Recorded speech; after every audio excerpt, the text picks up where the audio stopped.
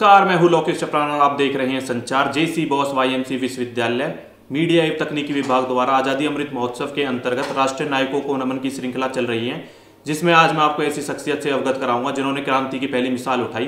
तो आइए जानते हैं उन क्रांतिकारी धन सिंह कूजर कोतवाल जी को।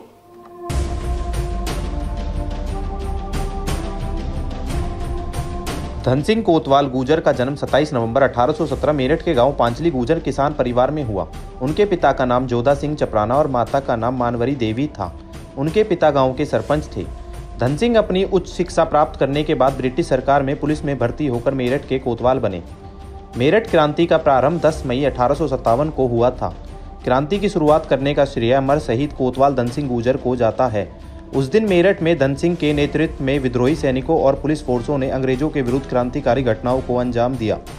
धन सिंह कोतवाल जनता के संपर्क में थे। उनका संदेश मिलते ही हज़ारों की संख्या में क्रांतिकारी रात में मेरठ पहुँच गई। समस्त पश्चिमी उत्तर प्रदेश, देहरादून, दिल्ली, मुरादाबाद, बिजनौर, आगरा, झांसी, पंजाब, राजस्थान से लेकर महाराष्ट्र तक के गुजर इस स्वतंत्रता संग्राम में कूद पड़े।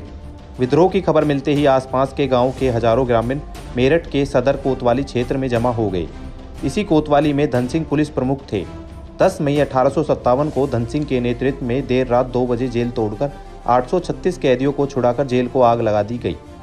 छुड़ाए कैदी भी क्रांति में शामिल हो गई उससे पहले भीड़ ने पूरे सदर बाज़ार और कैंट क्षेत्र में जो कुछ भी अंग्रेज़ों से संबंधित था सब नष्ट कर दिया।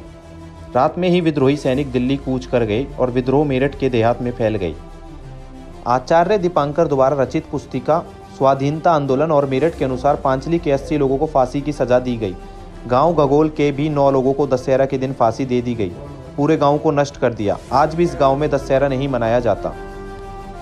मेरठ क्रांति के स्वतंत्रता संग्राम की मसाल जलाने वाले धन सिंह गुजर को तो अंग्रेज़ों ने फांसी पर लटका दिया, मगर उनके द्वारा लगाई गई मसाल पूरे देश में फैल चुकी थी, जिसके फैलते पूरे देश में आज़ादी की मांग हुई। इस श्रृंखला में बस इतना ही। आगे फिर मुलाकात होगी नए स्वतंत्रता संग्रामी के साथ। जय हिंद।